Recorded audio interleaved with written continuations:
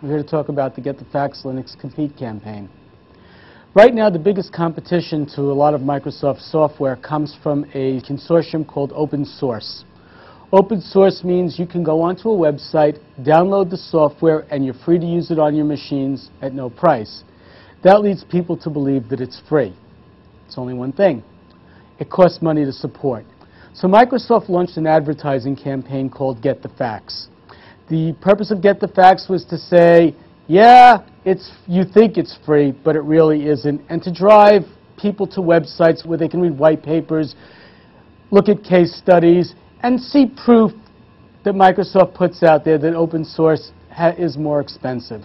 Microsoft commissioned a study by a third party that talked specifically about how the reliability of Microsoft Windows Server stacks up against the reliability of a, of a Linux operating system on a server. The client said to us, we want people to download the survey. But these are pretty strong facts. Why make people wait for the survey?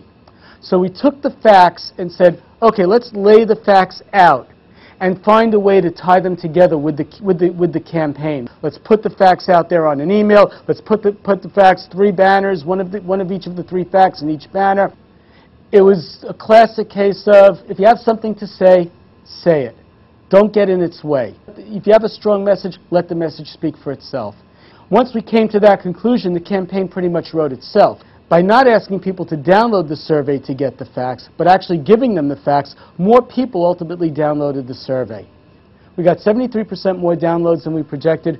We also got 37% more people registering to receive more information about Microsoft than, than we'd anticipated. This was a US-only campaign.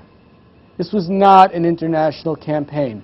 But because it lived on the web, because there was a landing page, because there was some banners and emails, something viral happened. About 39% of those people came from overseas markets where Linux is particularly strong. That was the thinking behind this campaign, and that's how we executed it.